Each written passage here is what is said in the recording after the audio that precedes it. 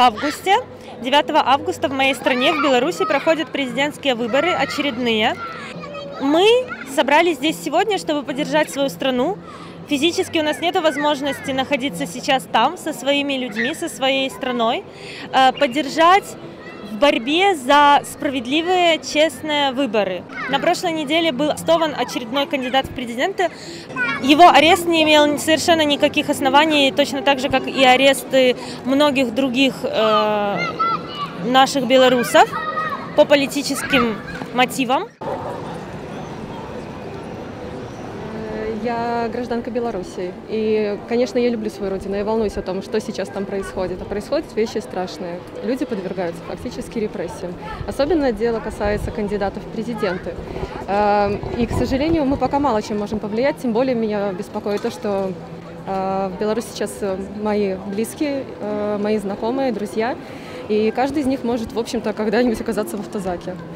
И мне хотелось бы привлечь внимание к этой ситуации в Беларуси. Поэтому я сегодня здесь и хочу, чтобы в том числе такими акциями по, э, в разных странах белорусы поддержали друг друга.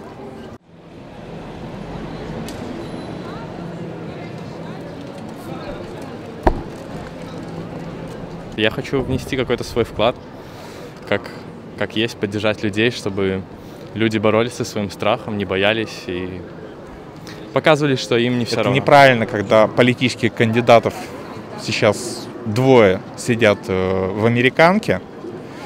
Ну, те же самые события были 10 лет назад. Только там задерживали после выборов, а тут до.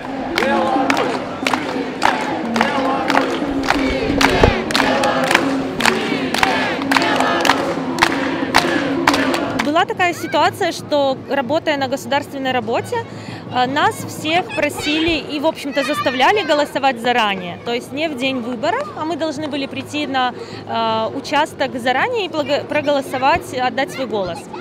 Э, ходят такие слухи, я, я не могу этого утверждать, но ходят такие слухи, что просто это, эти бюллетени, они уничтожались и переписывались в пользу в ту, в ту, в которую должно было быть. Не